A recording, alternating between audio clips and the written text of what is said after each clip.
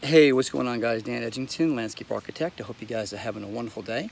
So one of the things that I don't talk about too much in my videos is drainage. And so a lot of times people use uh, four inch pipe to come off of gutters, off of the roof lines.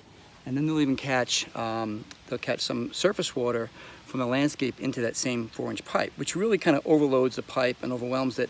And depending upon how long the pipe is, it can be really too much water for, you know, a 25 to 50 or 100 year storm.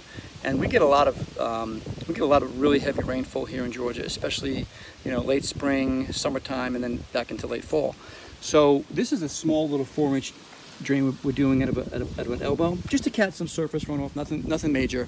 We're running a four-inch pipe, but we're connecting it to a six-inch pipe, and then we're bringing that six-inch pipe up to a four-inch gutter line.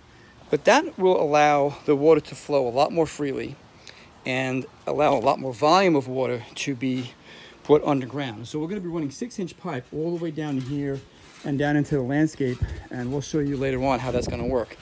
But it's really important just to realize that if you don't use, um, if, you, if you try to use a lot of four inch pipe on a, on a project, especially one pipe, that you might wind up having gutter uh, soffit damage because the gutters will back up and you don't want that. So anyway, I see that really often actually in a lot of products that we've seen, a lot of building soffit damage just because the drainage hasn't been done properly. So just wanted to show you guys um, why it's important to use six inch pipe rather than four inch to catch several different gutters and um, it just allows for more volume of water, okay?